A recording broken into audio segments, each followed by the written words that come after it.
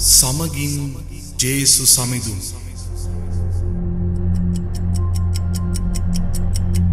ගෙවමු එක විනාඩියක්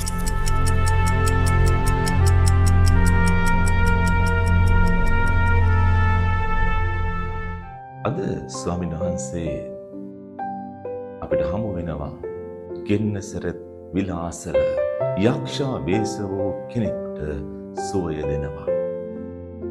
සැනසීම දෙනවා.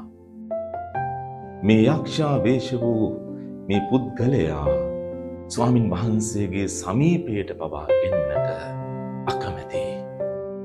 උන්වහන්සේගේ වචනයට මේ අඳුරු බලවේගය අවන්නත වෙනවා. ස්වාමීන් වහන්සේ තුළ අපිට මතක් කර දෙනවා. ජේසුස් ක්‍රිස්තුන් වහන්සේගේ ආලේපයෙන් වරප්‍රසාදයෙන් ආශිර්වාදයෙන් ආලෝකයෙන් අපි පිරෙනවද අඳුරට බැහැ අපගේ සමීපයට එන්නට. ඉනිසා අපි ස්වාමින් වහන්සේ තුළ ජීවත්වෙමු හැසිරෙනමු පවතිමු ඒ ආලෝකය තුළ අපගේ ජීවිතය ගත කර.